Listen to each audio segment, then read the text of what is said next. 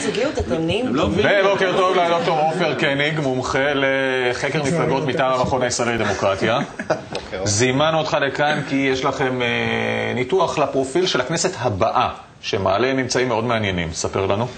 כן, אה, הכל כמובן אה, זה בהסתייגות, לפי הסקר האחרון שנעשה בערוץ 2 בשבוע שעבר, אז ככה תחזית, הערכה איך תיראה באמת הכנסת הבאה אה, מבחינת ההרכב שלה. אז קודם כל נשים, יכולים לראות שבהחלט יש אה, אה, המשך עלייה, המשך המגמה של ייצוג נשים בפוליטיקה. ועדיין, אה, לעומת העולם, אנחנו מדור- מדורגים נמוך נמוך. נכון, נכון. אני רוצה שני דברים להגיד.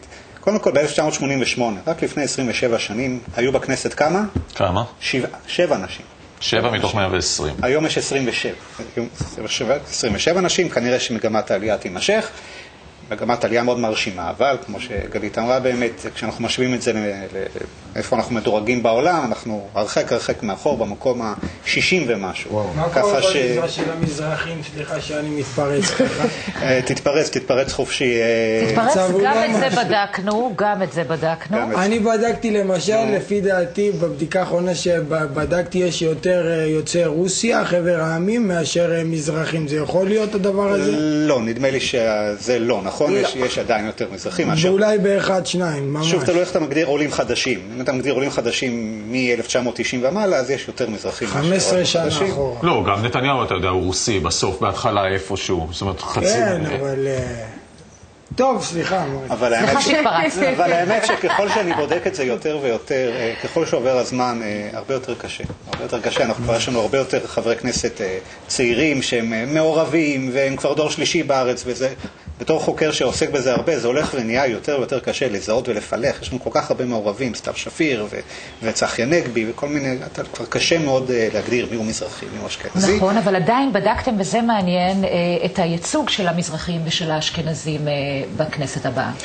לא את המזרחים האשכנזים, בדקנו יותר את, את הפריפריה, זה קשור במקצת, מאיפה, מאיפה באים חברי הכנסת. אה, מאיפה האם- באים במקור, או מאיפה... איפה הם גרים? איפה הם גרים, לא מאיפה הם גרים, אה, באים במקור, איפה הם גרים, אה, האם זה נכון התדמית שחברי הכנסת הם כולם מרוכזים ב- ברצועה הזאת שבין תל אביב לירושלים? אז כן, אפשר בהחלט להגיד שאתה משווה את נגיד, כמה חברי כנסת גרים בתל אביב, ואתה משווה את אחוז האוכלוסייה שגרה בתל אביב, אז יש ייצוג יתר לתל אביב, יש ייצוג יתר לירושלים. וכמה חברי כנסת באים מהפריפריות? פחות, פחות. יש דווקא... הנה הנתונים מופיעים אגב, מהפריפריה בדרום חמישה? אה, מהפריפריה בצפון 14, מההתנחלויות 12, זה לא רע, זה לדעתי, מהדרום רק אה, חמישה, לדעתי ביחס, יש להם... פה אתה יכול לראות אה, איזה סקטור באוכלוסייה כן יודע למקסם ולנצל את הכוח הפוליטי שלו. אנחנו רואים שיש יותר מתנחלים בכנסת מאשר מתנחלים באוכלוסייה. אה, מבחינת פריפריה, בצפון ובדרום אה, פחות, למרות ששוב אנחנו רואים, אה, לדעתי הפעם יש שיפור. כל מיני מפלגות כן הכניסו נציגים מצפת, אם זה אילן החבר'ה שוחט של שלנו, ישראל ואורלי ביתנו. לוי מהצפון, נכון. וליברמן מנוקדים. תהיה לנו מקריית שמונה. מערד, מדימונה, מקריית גת. כלומר, יש לנו, יש לנו שיפור הפעם לעומת הכנסת הקודמת, ועדיין, ועדיין, אני חושב שחברי הכנסת הם אה, בעיקרם מרוכזים אה, במרכז.